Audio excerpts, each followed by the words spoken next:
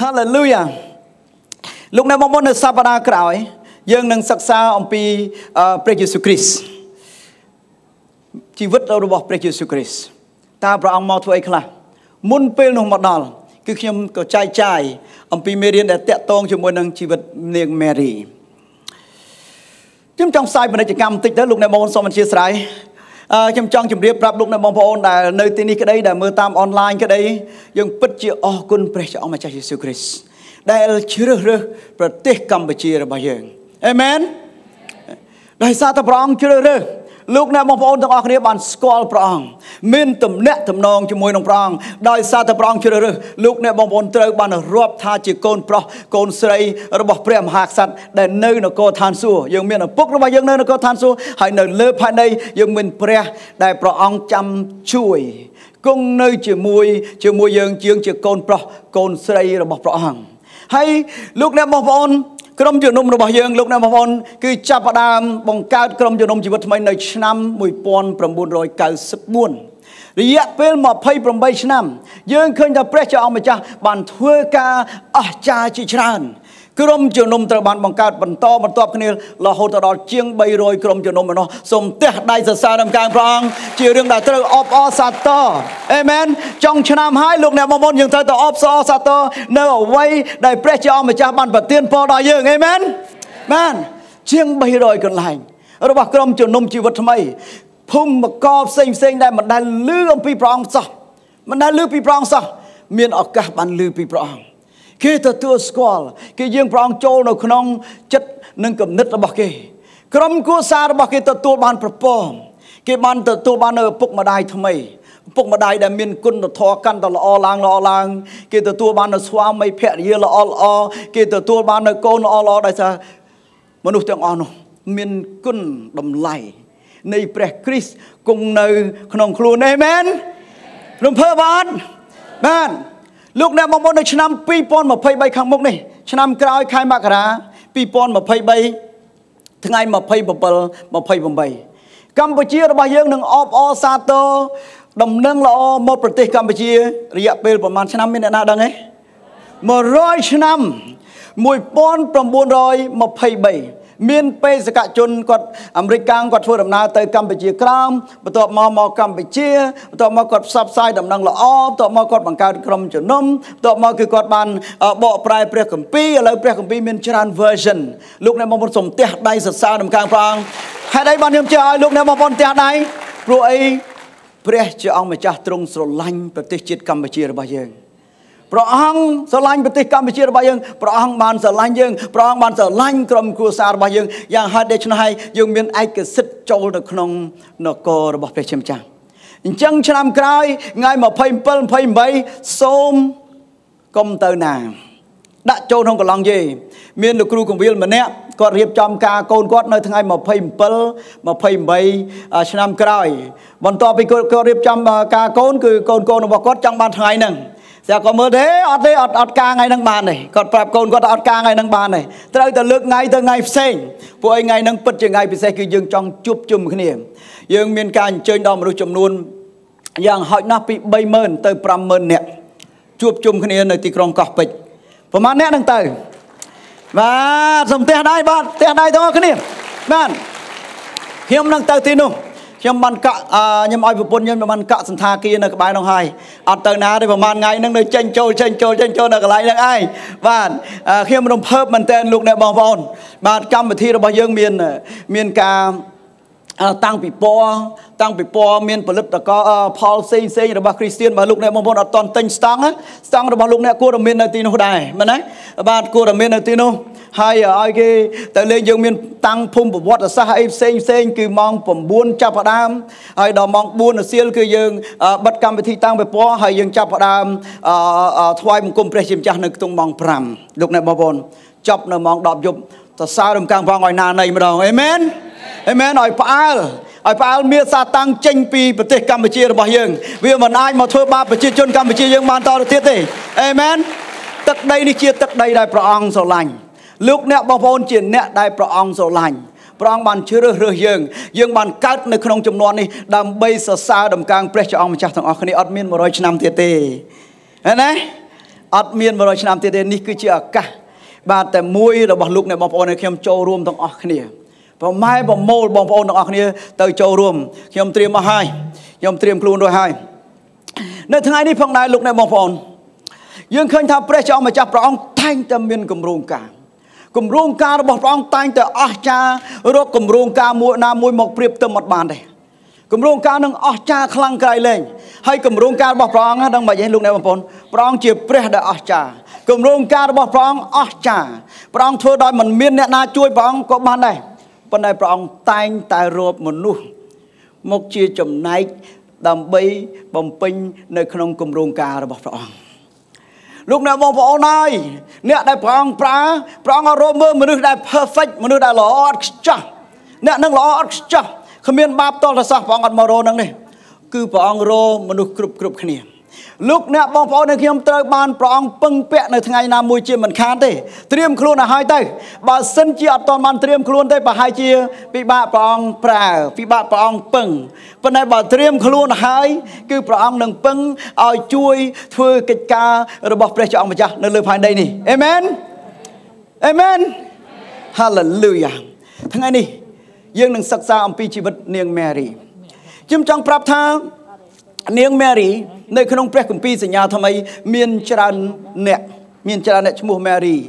បាទដោយលោកអ្នកបងប្អូនឈ្មោះច័ន្ទអញ្ចឹងទៅណាក៏ច័ន្ទទៅណាក៏ច័ន្ទសប្តាហ៍មុនខ្ញុំជួបជាមួយក្រុមគូសាមួយគាត់បានណែនាំថាអឺគាត់អ្នកចិត្តខាងខ្ញុំអ្នកចិត្តខាងខ្ញុំខ្ញុំអត់បានដឹងថាស្គាល់ឈ្មោះគាត់ជាសួរគាត់ប្អូនសួស្ដីប្អូនអីចឹងណាហើយគាត់ក៏ហៅខ្ញុំពូហៅអីចឹងមកតែយកចង់ដឹងឈ្មោះគាត់ទេអូនឯងឈ្មោះអីក៏ដឹងខ្ញុំឈ្មោះ បើអញ្ចឹងទៅហើយចុះគ្រូសាអូនឯងឈ្មោះបើដែរចឹងប្តីក៏បើប្រពន្ធក៏បើបើដូចគ្នាបើបើបាទរៀបការបើរៀបការជាមួយបើគឺបើដូចគ្នា មានឈ្មោះដូចគ្នា នៅក្នុងព្រះគម្ពីរហ្នឹងគឺមានឈ្មោះ Mary បើយើងមើលនៅក្នុងព្រះគម្ពីរសញ្ញាថ្មីសម្ព័ន្ធមេត្រីថ្មីយើងឃើញថា Mary បើយើងនិយាយពី Mary គឺមានដង6ដងណោះ 6ដង6នាក់ណោះប៉ុន្តែបើយើងសិក្សាស៊ីជំរឿលំអិតទៅប្រហែលជាមាន3នាក់ទេបាទគឺវាមានពាក់ព័ន្ធគ្នាតលតែលោកអ្នកបងប្អូនសិក្សាស៊ីជំរឿពាក្យថា Mary គឺពាក្យមួយយ៉ាងទៀតខ្ញុំមើលអត្ថន័យដើមគឺមកពីពាក្យ Miriam Miriam គឺជាអ្នកដែលគេហៅថាអ្នកបះបោហីឈ្មោះហ្នឹងអស់ល្អ Miriam ឈ្មោះអ្នកបះបោដោយសំដៅទៅលើមេរៀមជាបងរបស់លោកម៉ូសេគាត់បះបោប្រឆាំងមួយម៉ូសេគាត់មិនបះបោរហូតណាប៉ុន្តែគេឲ្យអត្តន័យលោកអ្នកបងប្អូនពេលខ្លះនៅក្នុងជីវិតរបស់មនុស្សគាត់នៅធ្វើកំហុសមួយភ្លាមគេចាប់កំហុសយើងហើយគេថ្កោលទោសយើងថាយើងជាអញ្ចឹងច្រឡំភូតតែម្ដងទាំងមួយនឹងប៉ិនភូតដល់ឡាភូតបាទគាត់ដល់យើងច្រឡំខឹងតិចតែមួយនឹងបកកែខឹងអាបកកែខឹងអាច្រឡោតខឹង បាទអញ្ចឹងមកហើយនេះគេថាតែម្ដងនាងមេរីនឹងបះបោតែគេហៅគាត់ជាអ្នកបះបោប៉ុន្តែយើងមើលពីមេរីមេរីដែលជាមេរីមួយគឺម្ដាយរបស់ព្រះយេស៊ូវគ្រីស្ទគឺអត្ថបទគម្ពីរបានប្រាប់ថាប្រាប់ថា highly favored one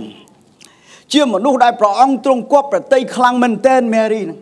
ព្រះអង្គស្រឡាញ់ព្រះអង្គគប់ប្រតិដោយសារតែនាងបានត្រៀមខ្លួនជាស្រេចដើម្បីបម្រើព្រះអង្គនាងមេរីមួយទៀត ជាជានាង Mary Magdalene ជាស្ត្រីម្នាក់ដែលមកពីភូមិម៉ាដាឡាគាត់អ្នកភូមិនារីអ្នកភូមិម៉ាដាឡានារី Mary Magdalene មាន Mary មួយទៀតគាត់ជា នាង Mary មួយទៀតជាបងប្អូនរបស់លោកឡាសាឡាសាហើយនឹងម៉ាថា នាងម៉ែរីនឹងគឺគាត់ស្រឡាញ់ចង់បានព្រះយេស៊ូវគាត់សុំឲ្យព្រះយេស៊ូវគ្រីស្ទមកផ្ទះគាត់គឺគាត់ចង់ស្ដាប់ព្រះអង្គហើយចឹងទៅឥឡូវទៅអង្គុយស្ដាប់ព្រះអង្គគឺមកថាជាបងធ្វើមហូបរអីមិនព្រមមកជួយធ្វើមហូបឥឡូវទៅស្ដាប់ព្រះអង្គប៉ុន្តែព្រះយេស៊ូវគ្រីស្ទមានព្រះបន្ទូលថានាងម៉ែរីនឹងបានជ្រើសរើសចំណែកដ៏ល្អមែនទែនលោកអ្នកបងប្អូននៅទីនេះបានជ្រើសរើសចំណែកដ៏ល្អមែនទែនមកថ្វាយបង្គំព្រះអង្គហើយនាងម៉ែរីមួយទៀតថ្ងៃនេះយើងនិយាយពីម៉ែរីណាម៉ែរីច្រើនតិចណាបាទ ដើម្បីបងប្អូនដឹង នាង Mary មួយទៀតជាអ្នក Mary អ្នកភូមិ Clopas Clopas គាត់ជាម្ដាយរបស់លោកយ៉ាកុបហើយនិងប្អូនរបស់គាត់បាទយើងមើលទៅម្ដាយរបស់យ៉ាកុបណាគេហើយយ៉ាកុបក៏ឈ្មោះច្រើនដែរនៅក្នុងព្រះគម្ពីរហើយថ្ងៃហ្នឹងអត់និយាយពីរឿងយ៉ាកុបទេយ៉ាងនាង Mary មួយទៀតជាម្ដាយរបស់លោកយ៉នម៉ាកមានយូហានហើយនិងយូហានម៉ាកុសអញ្ចឹងផ្សេងគ្នាណា ដល់ពេលយើងសិក្សាព្រះគម្ពីរយើងនៅពេលតាមដានឲ្យល្អិតល្អន់បានដឹងយូហានហើយនិងយូហានម៉ាកុសគាត់មានបងប្អូនស្រីរបស់គាត់ជាបងស្រីជាមួយនឹងដែលបងប្អូនរបស់ជាមួយលោកបានបាសបានបាសជាអ្នកដែលលើកទឹកចិត្តគេនាងមេរីមួយទៀតជាមេរីនៅអ្នកនៅទីក្រុងរ៉ូម នឹងក្រោយមកទៀតនៅពេលដែលលោកប៉ូលទៅផ្សព្វផ្សាយដំណឹងល្អនៅទីក្រុងរ៉ូមគឺគាត់ឈ្មោះ Mary បាទលោកប៉ូលគាត់ប្រាប់ថាសូមឲ្យផ្ដាំសួរសុខទុក្ខដល់នាង Mary នឹងផងចឹងយើងឃើញថាមាន Mary ច្រើនប៉ុន្តែថ្ងៃនេះគឺយើងសំដៅទៅលើការសិក្សាដល់នាង Mary ជាម្ដាយរបស់ព្រះយេស៊ូវគ្រីស្ទព្រះចង់ម្ចាស់ដូចខ្ញុំបាននិយាយ គឺព្រះអង្គមានគម្រោងការដ៏អស្ចារ្យគម្រោងការដ៏អស្ចារ្យរបស់ព្រះអង្គគឺជាគម្រោងការដែលជួយមនុស្សគឺស្ដារជីវិតមនុស្សឲ្យមនុស្សមានទំនាក់ទំនងជាមួយព្រះអង្គឡើងវិញជួសជុលបញ្ហាដែលនៅលើផែនដីនេះ ដែលមនុស្សបានជួបប្រទះគឺព្រះអង្គជាមេចំណែកដែលប្រកែជួសជុលដោះស្រាយបញ្ហាជីវិតមនុស្សយើងមើលនៅក្នុងព្រះគម្ពីរអេសាយ ព្រះគម្ពីរអេសាយជំពូកទី7ខទី14ខ្ញុំពាក់វ៉ាន់តាសិនព្រោះភ្នែកឥឡូវចាស់ហើយតើពាក់វ៉ាន់តាបានមើលឃើញណែមើលឃើញតែមើលលោកអ្នកបងប្អូនមិនសូវឃើញទេព្រះគម្ពីរអេសាយជំពូកទី7ខទី14លោកអេសាយគាត់បានថ្លែងព្រះបន្ទូលទុកព្រះអង្គបានប្រាប់ព្យាការីរបស់ព្រះអង្គម្ចាស់ឲ្យថ្លែងព្រះបន្ទូលប្រាប់ថាហេតុនេះព្រះអង្គម្ចាស់ផ្ទាល់ នឹងប្រទានទីសម្គាល់មួយដល់អ្នករាល់គ្នាព្រះអង្គបានប្រាប់ទៅអ្នកស្រុកអ៊ីស្រាអែលប្រាប់ថាព្រះអង្គនឹងប្រទានបាទទីសម្គាល់មួយដល់អ្នករាល់គ្នាដល់អ្នកស្រុកអ៊ីស្រាអែលមើលស្ត្រីព្រំចារីនឹងមានផ្ទៃពោះលោកអ្នកបងប្អូនស្ត្រីព្រំចារីនឹងមានផ្ទៃពោះពាក្យថាព្រំចារីមានន័យថាម៉េចគឺគាត់អត់ដែលមានតំណែងតំណងជាមួយបរិះណាទេ ស្រាប់តែមានផ្ទៃពោះវាចម្លែកចម្លែកមែនទែនតែព្យាការីបានថ្លែងទុកចឹងលោកអ្នកបងប្អូននៅពេលដែលអ្នកណាម្នាក់និយាយចម្លែកចម្លែកដាក់យើងយើងគិតមិនយើងគិតថាអ្នកនឹងឈួតនិយាយខុសគេចេះតែនិយាយចឹងចឹងមកគ្មានណាគេជឿទេអ្នកដែលអត់ដែលមានទំនាក់ទំនងជាមួយបរោះណាសោះនឹងនឹងមានផ្ទៃពោះមានផ្ទៃពោះនាងនឹងសម្រាលបានបុតមួយ ហើយថ្វាយប្រនាមថា អ៊ីម៉ានូអែល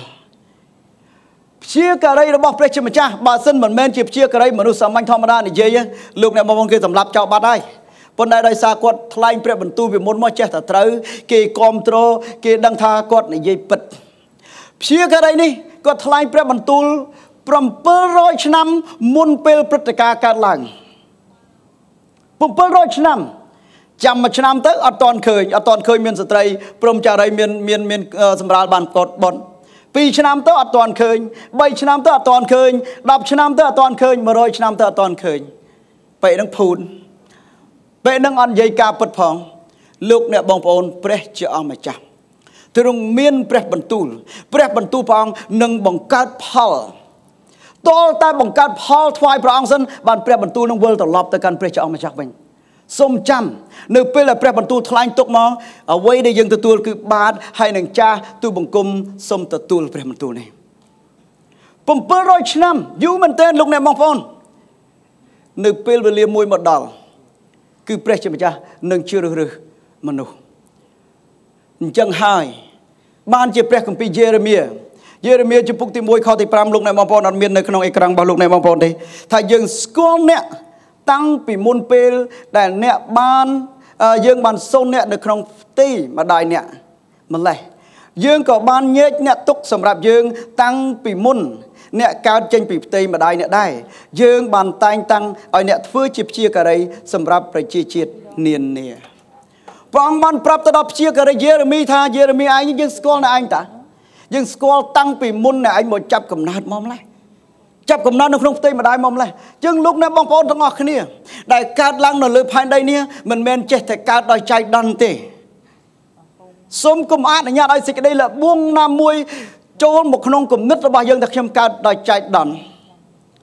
ខ្ញុំកើតមកដោយចៃដន្យ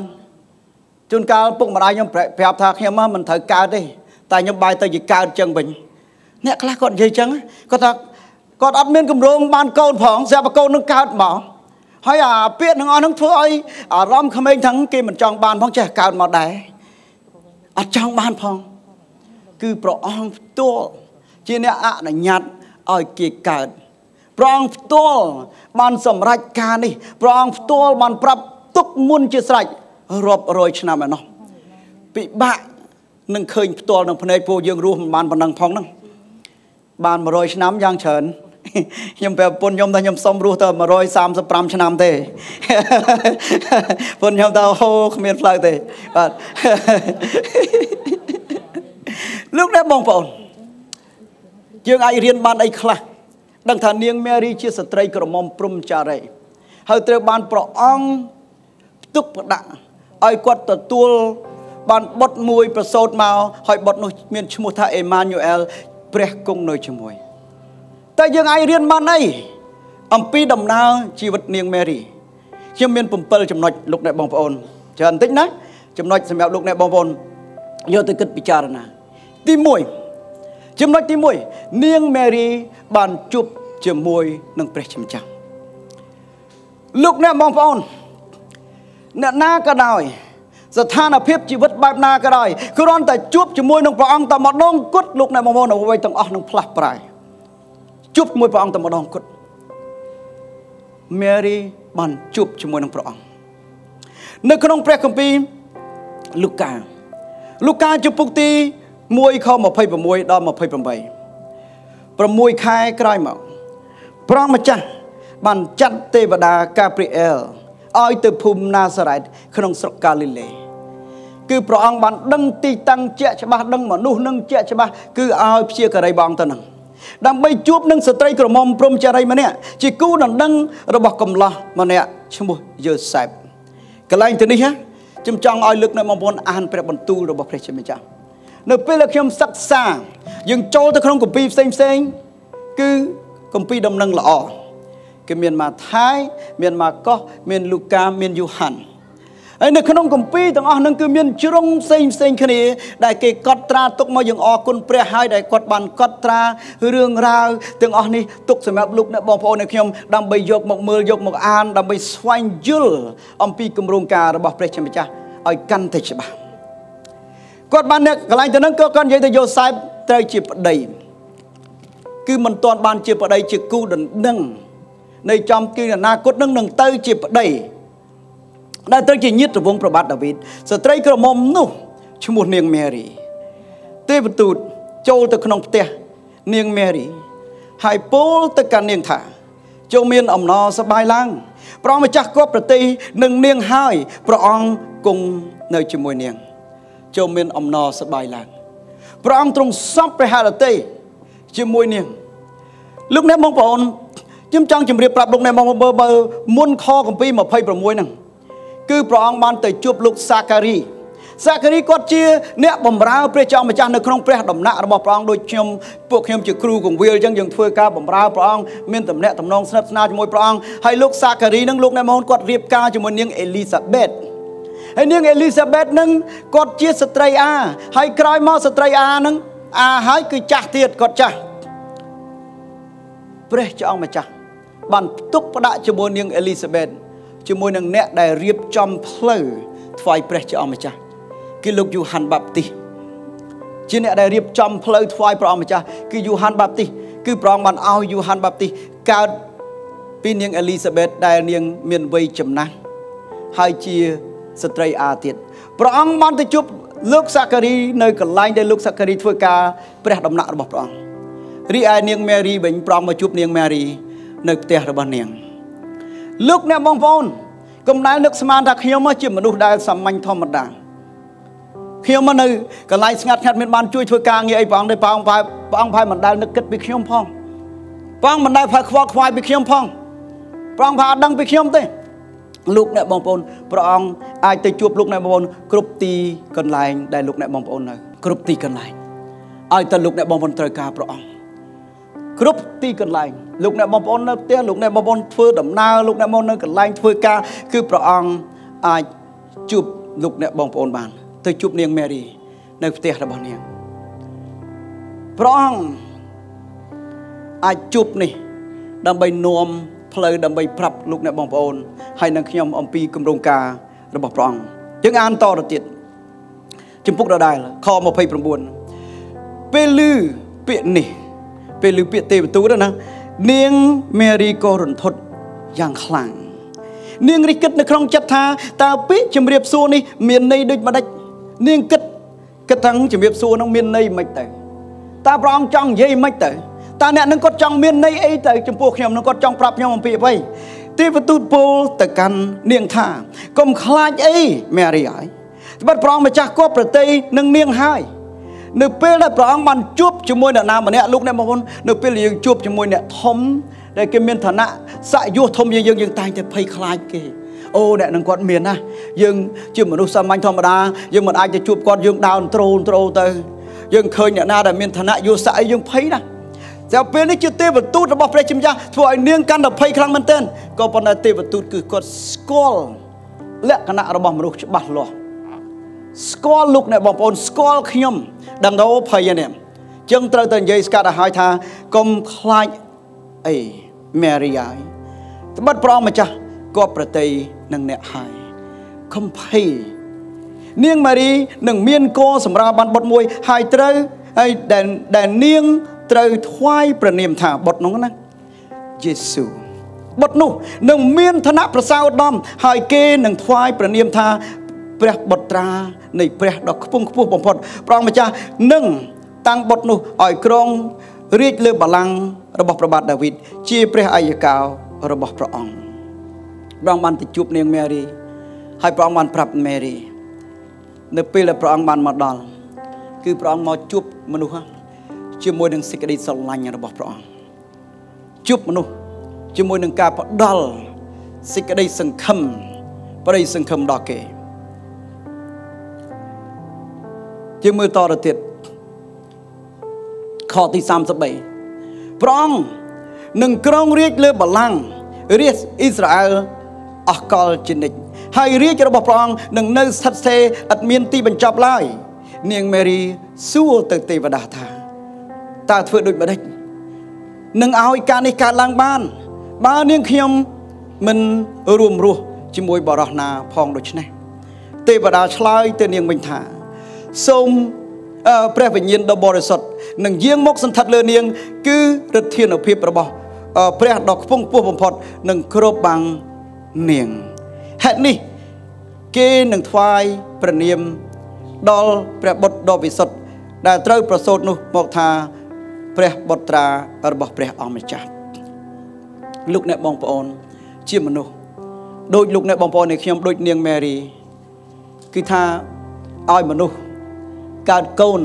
ដោយអត់បានរួមរស់ជាមួយបរោះណាម្នាក់ទៀតវាទៅរួចអត់ទៅរួចអត់នៅសម័យសពថ្ងៃនេះគេដាក់ជាតិគីមីគេធ្វើមិនទៅអាចកើតកូនបានប៉ុន្តែសម័យនោះអត់ទេគេដាក់ស្អៀតជាតិស្អីខ្លះទេខ្ញុំមិនដឹងខ្ញុំមិនចង់បាច់ចង់ដឹងចង់ឮច្រើនគាត់តែចង់និយាយថាគេធ្វើមិនធ្វើមកអាហ្នឹងវាកើតមានក៏ប៉ុន្តែសម័យនោះគឺព្រះជាម្ចាស់ផ្ទាល់បានមកធ្វើការនេះវាពិបាកវាទៅមិនរួចឡើយ បើសិនអត់មានការអន្តរាគមដែលមកពីព្រះជាម្ចាស់បើសិនជាព្រះអង្គមិនធ្វើការនោះមិនកើតទៅឡើយគាត់មានតំណែងតំណងជាមួយនរណាផងហ្នឹងប៉ុន្តែព្រះវិញ្ញាណដ៏បរិសុទ្ធរបស់ព្រះអង្គប៉ុន្តែព្រះជាអង្គម្ចាស់អាចធ្វើការងារនេះបាននាងថាទៅអត់រួចទេ តែព្រះបានប្រាប់ថាទៅរួចទៅរួចជំពូកទីចំណុចទី2 យើងអាចរៀនទាំងថានាងមេរីគឺគាត់លឺគម្រោងការដែលព្រះអង្គបានប្រាប់ហើយគឺគាត់ចោះចូលជាមួយនឹងគម្រោងការព្រះអង្គលោកអ្នកបងប្អូននៅពេលដែលព្រះអង្គប្រាប់ឲ្យយើងធ្វើអីជួនកាលការដែលព្រះអង្គប្រាប់នោះលំបាកលំបាកមែនទែននៅសម័យនោះប្រសិនបើគេដឹងថានារីណាម្នាក់មានផ្ទៃពោះដែលអត់មានប្តីគឺនាងត្រូវអាម៉ាស់ធំណាស់នឹងគេនឹងគេនឹងររឿងនាង គេនឹងធ្វើទុកបុកម្នេញគេនឹងធ្វើបាបនាង តែនាងព្រម ទទួលយកអ្វីដែលព្រះអង្គបានដាក់ឲ្យនាងធ្វើខទី36ម្យ៉ាងទៀតនាងអេលីសាបេតជាញាតិរបស់នាង មានផ្ទៃពោះ6ខែហើយត្បិតអឺថ្មីត្បិតតែគាត់មានវ័យចាស់ថែមទាំងស្ត្រីអាទៀតផងក៏ដោយព្រោះគ្មានអ្វីព្រោះគ្មានការអ្វីដែលព្រះអង្គម្ចាស់ធ្វើមិនកើតនោះឡើយ នាងមេរីពូលទៅទេវទូតថាទេវតាថា នាងខ្ញុំជាអ្នកបម្រើរបស់ព្រះអង្គម្ចាស់សូមឲ្យបានសម្រេចតាមពាក្យរបស់លោកចុះបន្ទាប់មកទេវតាក៏ចាក់ចេញពីនាងទៅលោកអ្នកបងប្អូនទេវទេវតារបស់ព្រះអង្គបានធ្វើជាសក្ខីភាព ទីបន្ទាល់ប្រាប់ថា នាងឯងថាការនឹងទៅមិនរួចទេអត់អាចមានកូនបានទេប៉ុន្តែសាច់ញាតិរបស់នាង ជានាងអេលីសាបេតគាត់ចាស់ហើយជាស្ត្រីអាទៀត អាចមានកូនបានអញ្ចឹងនាងឯងអត់ទុកចិត្តយើងទេលោកនៅមកមុនមានកិច្ចការខ្លះយើងពិបាកពិបាកនឹងជឿថាវាអាចកើតមានឡើងពេលខ្លះកិច្ចការខ្លះនៅក្នុងជីវិតរបស់យើងលំបាកមែនទែនហ្មងនៅអាចកើតមានឡើងចង់និយាយថាទៅមិនរួចទេ ធ្វើមិនក៏តើរួចដែរអានឹងឯងបានដល់ពេលដល់វេនរបស់ព្រះជាម្ចាស់ធ្វើម្ដង អ្នកខ្លះថាំងដូចអ្នកខ្លះថាំងការបាន10ឆ្នាំហើយ យើងចង់បានកូន10ឆ្នាំហើយមិនដែលឃើញបានកូនអីផងឥឡូវគ្រូនិយាយចឹងតិចជឿព្រះអង្គទៅយើងអធិដ្ឋានតិចតិចតិចព្រះអង្គទ្រង់ធ្វើការអស្ចារ្យខ្ញុំឃើញមានច្រើនគ្នាណាស់ឃើញមានច្រើនគ្នាណាស់ដែលព្រះជាម្ចាស់ទ្រង់ធ្វើការអស្ចារ្យចាំ10ឆ្នាំមិនតាន់បានអីប៉ុន្តែដល់ពេលនេះ គឺជាពេលវេលារបស់ព្រះអង្គឃើញទេនាងអេលីសាបេតនោះគាត់ជាស្ត្រីអាហើយមានវ័យចំណាស់ទៀតគឺគាត់អាចមានកូនឥឡូវ6ខែបាត់ហើយ ព្រះជាម្ចាស់ចង់ប្រាប់នាងមេរីថាគ្មានអ្វីដែលពិបាកសម្រាប់ព្រះអង្គឡើយគ្មានអ្វីដែលព្រះអង្គធ្វើមិនកើតនោះឡើយអ្វីដែលលោកអ្នកបងប្អូនហើយនៅខ្ញុំត្រូវធ្វើគ្រាន់តែមានជំនឿគ្រាន់តែជឿព្រះអង្គប៉ុណ្ណោះព្រះអង្គនឹងធ្វើការនោះបានគ្រាន់តែដាក់វាចូលទៅក្នុង ប្រហោះរបស់ព្រះជាម្ចាស់នាងមេរី ធ្វើតាមគម្រោងការរបស់ព្រះជាម្ចាស់ទាំងអស់ចំណុចទី3នាងមេរីថ្លែងព្រះបន្ទូលទៅកាន់នាងអេលីសាបេតពីមុនមកជាស្ត្រីធម្មតាធ្វើការផ្ទះប៉ុន្តែបន្ទាប់ពីគាត់ជួបជាមួយនឹងព្រះជាម្ចាស់បន្ទាប់ពីជួបជាមួយព្រះអង្គលោកអ្នកបងប្អូនគឺនៅពេលណាម្នាក់ជួបជាមួយព្រះអង្គប្រេងតាំងព្រះអង្គបំពេញទៅដល់អ្នកនោះហើយបន្ទាប់មកប្រេងតាំងរបស់អ្នកនោះនឹងហោហៀទៅដល់អ្នកដទៃទៀតនេះការនេះបានកើតមានឡើងនៅក្នុងព្រះគម្ពីរនេះជាសាក្សីប្រាប់ស្រាប់ យើងឃើញថានៅគ្រានោះនៅលូកាចំពុកទី1ខ39ដល់43នៅគ្រានោះនាងមេរីប្រញាប់ដឹងថាសាច់ញាតិគាត់មានផ្ទៃពោះគាត់ទៅមើលទៅសួរសុខទុក្ខបាទចេញដំណើរទៅភូមិមួយនៅតំបន់ភ្នំ ក្នុងស្រុកយូដានាងបានចូលទៅក្នុងផ្ទះរបស់សាអឺផ្ទះលោកសាការី ហើយជម្រាបសួរនាងអេលីសាបេតចូលទៅដល់ផ្ទះជម្រាបសួរពេលនាង អេលីសាបេតឮនាងម៉េរីជម្រាបសួរទីរក់នៅក្នុងផ្ទៃនាងបំរាស់ឡើងហើយគាត់ក៏បានពោពេញ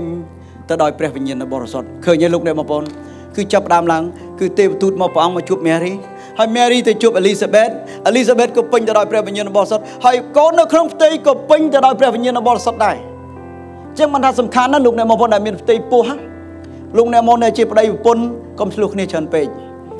បាទកុំជេរគ្នាកុំដាក់បន្តិចបដាសាគ្នារករឿងគ្នាកូននៅក្នុងនោះក៏ដឹងដែរមែនទេនាងមេរីបានមានព្រះវិញ្ញាណបរិសុទ្ធរបស់ព្រះអង្គព្រះវិញ្ញាណបរិសុទ្ធព្រះអង្គទៅជួបនាងអេលីសាបេតនាងអេលីសាបេតក៏ពេញទៅដោយព្រះវិញ្ញាណបរិសុទ្ធព្រះអង្គហើយកូននៅក្នុងផ្ទៃក៏ពេញទៅដោយព្រះវិញ្ញាណបរិសុទ្ធដែរសាកសម័យមើលកូននៅក្នុងផ្ទៃរបស់ប្រពន្ធអ្នកឮតែយើងឆ្លោះគ្នារាល់ថ្ងៃតើមានរឿងអីកើតឡើង អត់ល្អទេលោកអ្នកបងប្អូនមែនទេពេញទៅដោយព្រះវិញ្ញាណបរិសុទ្ធពេញដែរហើយយើងត្រូវបំពេញកូននោះនៅក្នុងផ្ទៃនោះដោយពាក្យល្អល្អពាក្យលើកទឹកចិត្តពាក្យសង់គ្នាទៅវិញទៅមកពាក្យនៃជំនឿបន្ទាប់មកនាងបានលើសំឡេងឡើងថាប្រោម្ចាស់បានប្រទានពរដល់នាងលើសស្ត្រីនានាឃើញទេនានាហើយព្រះអង្គក៏ប្រទានពរដល់បុត្រ នាងដែរពីមុនទេវទូតរបស់ព្រះអង្គថ្លែងព្រះបន្ទូលមកកាន់នាងមេរីឥឡូវនាងមេរីថ្លែងព្រះបន្ទូលព្រះអង្គទៅកាន់នាងអេលីសាបេតយើងឃើញទេបន្ទាប់មកទៀតខទី43តើរូបខ្ញុំមានឋានៈអ្វីបានជាមេត្តារបស់ព្រះអង្គម្ចាស់របស់ខ្ញុំមកសួរសុខទុក្ខខ្ញុំដូច្នេះលោកអ្នកមកឃើញអត់ខកំពីមួយហ្នឹងតើរូបខ្ញុំមានឋានៈអ្វីបានជាមេត្តារបស់ព្រះម្ចាស់របស់ខ្ញុំមកសួរសុខទុក្ខខ្ញុំដូច្នេះឥឡូវនាងអេលីសាបេតចាប់ដើមអី ទទួលបាននៅការបើកសម្ដែងតានាងមេរីនោះមិនមែនជាសាច់ញាតិខ្ញុំធម្មតាណានាងជាម្ដាយរបស់ព្រះអង្គម្ចាស់របស់ខ្ញុំឃើញអត់ឃើញអត់លោកអ្នកមនទទួលបាននៅការបើកសម្ដែងពីមួយទៅមួយពីមួយទៅមួយនៅពេលដែលគេបានជួបជាមួយនឹងព្រះជាម្ចាស់ព្រះវិញ្ញាណរបស់ព្រះអង្គនឹងបើកសម្ដែងនៅកិច្ចការផ្សេងផ្សេងដែលយើងមិនដែលស្គាល់មិនដែលដឹងមិនដែលឮពីមុនមកសោះព្រះអង្គជាអ្នកបើកសម្ដែងឲ្យឃើញយ៉ាងច្បាស់ នៅចំណុចទី4នាងមេរីនិងស្វាមី គឺបានថែរក្សាកូនរបស់គាត់នៅក្នុងអត្ថបទគម្ពីរម៉ាថាយជំពូក2ខទី13ដល់14 15កាលពួកហោរាចាអឺហោរាចាចាក់ចេញផុតទៅ ទេវតារបស់ព្រះអង្គម្ចាស់អឺមកប្រាប់លោកយូសែបក្នុងសុបិននិមិត្តថាចូលក្រោកឡើងនាំព្រះអរោះ និងព្រះមេដារបស់ព្រះអង្គទៅរស់នៅស្រុកអេស៊ីបទៅចូលស្នាក់នៅនៅក្នុងស្រុកនោះរហូតដល់យើងប្រាប់ឲ្យវិលត្រឡប់មកវិញសមកត្បិតស្ដេចហេរ៉ូតរកធ្វើគុត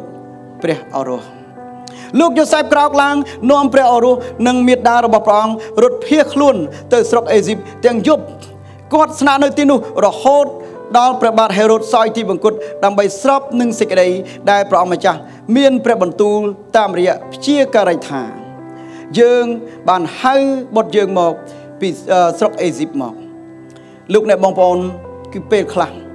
ឪពុកម្ដាយត្រូវផ្លាស់ប្ដូរលំនៅឋាន ដើម្បីថែរក្សា ដើម្បីការពារដើម្បីសេចក្តីសុខសាន្តរបស់ក្រុមគ្រួសារនីមួយៗនេះគឺជាបន្ទុក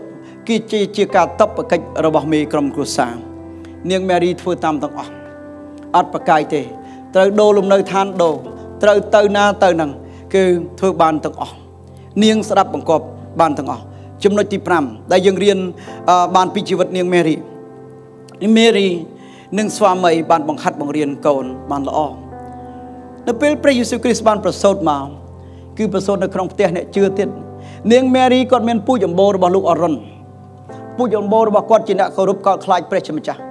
លោកអ្នកបងប្អូននៅចំនួននេះលោកអ្នកបងប្អូនបានស្គាល់ព្រះជាម្ចាស់សូមបញ្ជូនព័ត៌មាននៃការដែលលោកអ្នកបងប្អូនស្គាល់នឹងទៅដល់សាច់ញាតិរបស់លោកអ្នកបងប្អូនបន្តបន្តទៀតមនុស្សចំនួនចំនួនក្រោយទៀតឲ្យគេកាន់តែស្គាល់នៅព្រះបន្ទូលរបស់ព្រះជាអង្គម្ចាស់លោកអ្នកបងប្អូនតាំងពីលោកអរុនមកដល់ពួកចំនួនគាត់គឺច្រើនចំនួនមែនទែន ប៉ុន្តែព្រះបន្ទូលនេះនៅតែថ្មីនៅតែស្រស់នៅឡើយនៅពេលដែលគាត់រៀបការគឺគាត់បានបង្រៀនកូនចៅរបស់គាត់អំពីរបៀបរបស់ព្រះចអង្គម្ចាស់នៅលូកាចំពុក2ខទី51ដល់52បន្ទាប់មកព្រះកុមារព្រះយេស៊ូវយាងត្រឡប់ទៅភូមិណាសារ៉េតជាមួយនឹងមេដាអឺបៃតាវិញហើយធ្វើហើយធ្វើតាមព្រះអវាទរបស់គាត់ទាំងពីរនាក់ឃើញទេ ព្រះយេស៊ូវគ្រីស្ទចម្រើនវ័យឡើងមកឪពុកម្ដាយបង្រៀនកូនបានល្អចេះស្ដាប់ឪពុកម្ដាយតាំងពីក្មេងមក Of course តាមពិតត្រឹមត្រូវហើយព្រះអង្គជាព្រះជាម្ចាស់ទាំងពីរនេះមេដារបស់ព្រះអង្គចងចាំហេតុការទាំងអស់នោះនៅក្នុងក្នុងចិត្តនាងជាម្ដាយនាងមេរីគាត់បានលឺផ្ទាល់ពីព្រះអង្គគាត់ចេះចាំទុកថាព្រះអង្គត្រូវធ្វើម៉េចទៀតធ្វើម៉េចទៀតគាត់ចាំមើលពេលណាដូចផែនទី នៃជីវិតគឺគាត់ដឹងហើយពេលណាទៅធ្វើបើអីពេលណាធ្វើអីកើតមានអីកើតមានអីគឺដឹងទាំងអស់លោកអ្នកបងប្អូនគឺផ្លូវ road map នៃជីវិតរបស់គាត់បានដឹងទាំងអស់ហើយព្រះយេស៊ូវបានចម្រើនវ័យឡើងហើយមានប្រាជ្ញាកាន់តែវៀងវៃជីទីគប់ប្រតិព្រះអង្គម្ចាស់ជីទីគប់ចិត្តមនុស្សផងទាំងពួង ពេលគេត្រឡប់ទៅស្រុកវិញ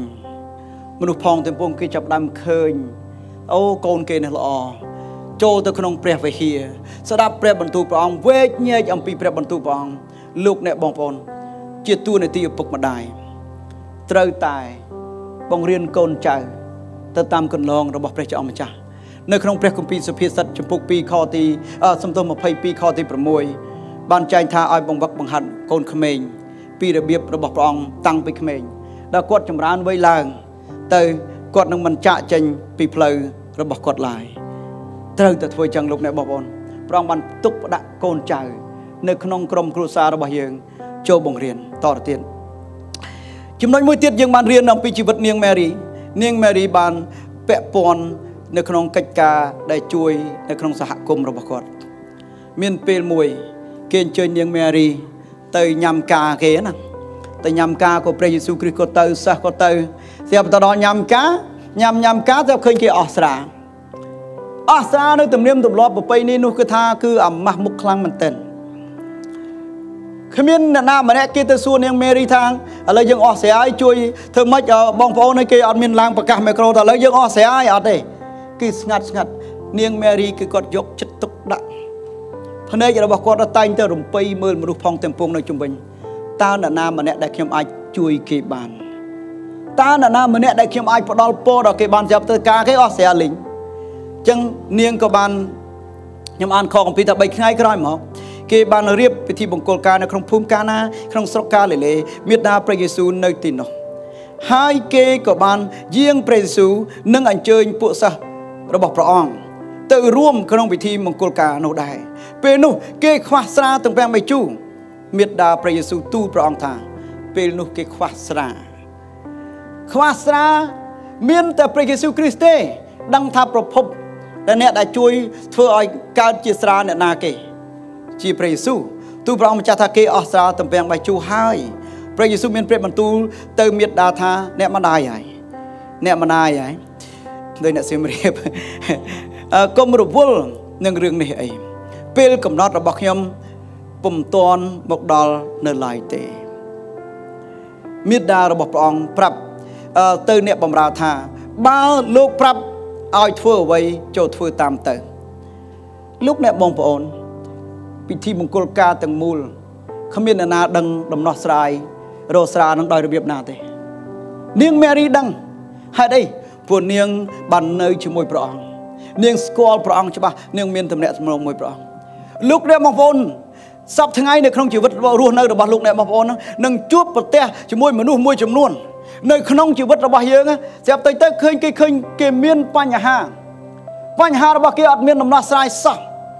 មិននឹងរកដំណោះស្រាយមកដោយរបៀបណាទេ តែលោកអ្នកបងប្អូនស្គាល់ព្រះយេស៊ូវគ្រីស្ទដឹងថាកុំតន់ភ័យចាំខ្ញុំអធិដ្ឋានឲ្យសិនអេមែនអត់កុំតន់ភ័យចាំមើលខ្ញុំអធិដ្ឋានឲ្យសិនចាំមើលតិចទៀតព្រះអង្គឆ្លើយតបហើយអ្នកឯងនឹងឃើញដំណោះស្រាយភ្លាមភ្លាមអ្នកឯងអត់មានកូនកុំបបាក់ចិត្តចិត្តទៅរករឿងប្រពន្ធមិនក៏អត់ព្រមមានកូនអញ្ចឹង បាទដូចខ្ញុំនិយាយពីខាងដើមគឺចាំខ្ញុំទៅរកព្រះអង្គឲ្យអ្នកសិនចាំខ្ញុំអធិដ្ឋានឲ្យអ្នកសិនចាំមើលមានការអីខាត់ឡើងរកស៊ីក៏ខាតចាំមើលខ្ញុំ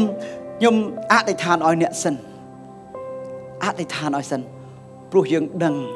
យើងស្គាល់ថាព្រះដែលជាប្រភពនៃដំណោះស្រាយព្រះអង្គអាចជួយអ្នកបានអេមែន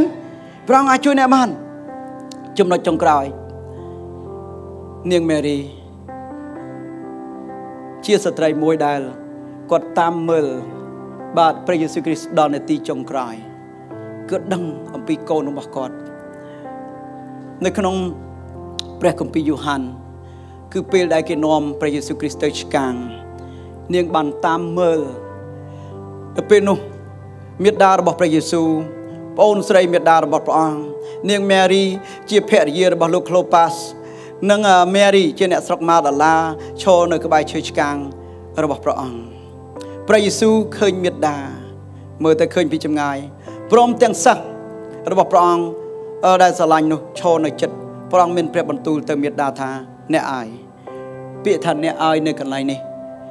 ជាភាសាក្រិកថា gunai gunai បានន័យថា ជាម្ដាយរបស់មនុស្សគ្រប់ចំនួនម្ដាយរបស់មនុស្សគ្រប់ចំនួននេះហើយជាកូនរបស់អ្នកចង់និយាយថាម៉ែខ្ញុំកើតមកជីវិតខ្ញុំសម្រាប់អញ្ចឹងឯងខ្ញុំមិនបានរស់នៅតទៅទៀតទេសុំកុំភ័យសុំកុំព្រួយកុំបារម្ភកុំតូចចិត្តអីតិចថាម៉ាក់តូចចិត្តថាមិនបានជួយកូនដោយសារកិច្ចការកូនសុំកុំភ័យម៉ាក់គឺកូនកើតមកសម្រាប់កិច្ចការងារនេះឯង កើតមកសម្រាប់ឆ្កាង សម្រាប់អត់ទោសដល់អំពើបាបនៃពិភពលោកគឺគាត់បានបញ្ជាក់ប្រាប់ចិត្តម្ដាយរបស់គាត់យើងគិតមើលមនុស្សអ៊ូអច្រើនក៏ប៉ុន្តែគាត់និយាយនាងមេរីខ្ញុំជឿថាគាត់ទៅមើលមាត់កូនក៏ដឹងដែរនេះហើយជាកូនរបស់អ្នកបន្ទាប់មកព្រះអង្គមានព្រះបន្ទូលទៅសាសថានេះហើយជាម្ដាយរបស់អ្នកដែរចង់និយាយ គាត់ជាម្ដាយរបស់ខ្ញុំតិចទៀតខ្ញុំស្លាប់ទៅហើយតែអ្នកឯងសូមមើលការខុសត្រូវលើអ្នកម្ដាយខ្ញុំដែររាប់គាត់ដូចជាម្ដាយរបស់អ្នកដែរលោកអ្នកបងប្អូនគ្រីស្ទៀនអ្នកដែលដើរតាមព្រះចអង្គម្ចាស់គឺជួយយកអសាដល់គ្នាទៅវិញទៅមកយ៉ាងហេតុដូច្នេះហើយយើងលើកទឹកចិត្តលោកអ្នកបងប្អូនឲ្យមានក្រុមកោសិកាដើម្បីដឹងអំពីសុខទុក្ខគ្នាទៅវិញទៅមកខ្លាចលោកលោកអ្នកបងប្អូនណាម្នាក់បាក់ទឹកចិត្ត ដោយធ្ងន់ធ្ងរអត់មានអ្នកជួយកំសាន្តចិត្តលើកទឹកចិត្តផ្ដល់កម្លាំងចិត្តផ្សេងផ្សេងលោកអ្នកបងប្អូននេះពិតជាសំខាន់មែនទេពីពេលនោះមកតាំងពីពេលនោះមកសិស្សនោះក៏នាំគាត់ទៅនៅជាមួយនាំនាងមេរីទៅនៅជាមួយដែរលោកអ្នកបងប្អូនទាំងអស់គ្នាខ្ញុំចង់ជម្រាបប្រាប់លោកអ្នកបងប្អូនថានេះជាដំណើរជីវិតរបស់នាងមេរីបានដើរឆ្លងកាត់ជីវិតនេះសពបែបសពយ៉ាង ខ្ញុំមិនដឹងថាលោកអ្នកបងប្អូនមានជីវិតបែបណាទេផាយជាដំណើរជីវិតរបស់លោកអ្នកបងប្អូនសួរពិបាកខ្លាំងមែនទែនពិបាករកអ្វីថ្លែងមិនបានហើយនាំឲ្យលោកអ្នកបងប្អូនគិតថាវាហាក់ដូចជាអត់ន័យដូចជាអត់មានអ្នកណាម្នាក់ទទួលស្គាល់អត់មានអ្នកណាម្នាក់ឲ្យតម្លៃអត់មានអ្វីថាជាកត់សម្គាល់នៅក្នុងជីវិតនេះផងពីមួយថ្ងៃទៅមួយថ្ងៃធម្មតាធម្មតាទៅបាក់ទឹកចិត្តលើកងើបមុខមិនរួចលោកអ្នកបងប្អូននៅថ្ងៃនេះ ខ្ញុំចង់ជម្រាបប្រាប់លោកអ្នកបងប្អូនថាព្រះអាចប្រើលោកអ្នកបងប្អូនទាំងអស់គ្នាបានគ្មានបញ្ហាណាមួយ មានការ mess up ណាមួយ នៅពីមុខព្រះដោយព្រះអង្គមិនអាចជួយដោះស្រាយបានឡើយលោកអ្នកបងប្អូនបើសិនដឹងថាខ្លួនឯងមានបញ្ហារញ៉េរញ៉ៃពិបាកខ្លាំងមែនទែនរត់ទៅរកព្រះជាអម្ចាស់វិញរត់ទៅរកសេចក្តីស្រឡាញ់ដើមរបស់ព្រះអង្គវិញរត់ទៅរកព្រះអង្គវិញ ថាព្រះអង្គទូបង្គំទៅមុខលែងរួចហើយទូបង្គំតល់ផ្លូវហើយទូបង្គំអត់មានដំណោះស្រាយទៅរកព្រះអង្គព្រះអង្គអាចប្រើទូបង្គំដូចជាព្រះអង្គប្រើនាងមេរីបានអត់ព្រះអង្គអាចនិយាយមកកាន់ទូបង្គំដូចជាព្រះអង្គនិយាយទៅកាន់នាងមេរីអត់ព្រះអង្គអាចចាក់ប្រេងតាំងរបស់ព្រះអង្គលើទូបង្គំដោយព្រះអង្គបានចាក់ប្រេងដល់នាងមេរីអត់ព្រះអង្គអាចមានព្រះបន្ទូលមកកាន់ទូបង្គំដើម្បីទូបង្គំទទួលបាននូវការបើកសម្លែងដូចជានាងអេលីសាបេតដែរអត់ព្រះអង្គចំពោះព្រះអង្គ ព្រះអង្គអាច he can ព្រះអង្គអាចលោកអ្នកបងប្អូន អាចជួយលោកអ្នកបងប្អូន បានទាំងអស់តោះអធិដ្ឋានជាមួយខ្ញុំ Hallelujah Hallelujah Hallelujah ព្រះម្ចាស់ដែលជាព្រះដ៏មានប្រជញ្ញគង់នៅនៅថ្ងៃនេះទូបង្គំទូលសូមព្រះអង្គសម្រាប់បងប្អូនប្រុសស្រីរបស់ទូបង្គំនៅនៅទីនេះ បងទូបង្គំមិនដឹងថាបងប្អូនណាស្ថិតនៅក្នុងកលៈទេសៈណារបៀបណាដោយវិធីសាស្ត្រណាអ្វីមួយដែលទូបង្គំដឹងទូបង្គំដឹងថាព្រះរបស់ទូបង្គំអាចជួយបងប្អូនទាំងអស់គ្នាបានត្បិតគ្មានការអ្វីដែលព្រះអង្គធ្វើមិនកើតត្បិតមនុស្សជាអ្នកដែលព្រះអង្គទ្រង់ស្រឡាញ់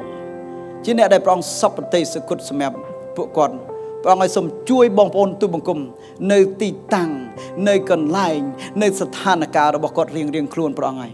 សូមស្ដារជីវិតនេះសូមតាំងទំនាក់ទំនងឲ្យល្អហើយនាំបងប្អូនរបស់ទូបង្គំចូលទៅកាន់សេចក្តីស្រឡាញ់ដើមរបស់ព្រះអង្គទូបង្គំសូមថ្វាយបងប្អូនទូបង្គំនិងដំណើរជីវិតរបស់គាត់ទាំងអស់គ្នាដាច់ដល់ព្រះអង្គក្នុងព្រះនាមព្រះម្ចាស់ព្រះយេស៊ូវគ្រីស្ទអេមែនសូមបងប្រទានពរលោកអ្នកបងប្អូនអរគ្នាជួបគ្នាសប្តាហ៍ក្រោយអរគុណច្រើនបាទ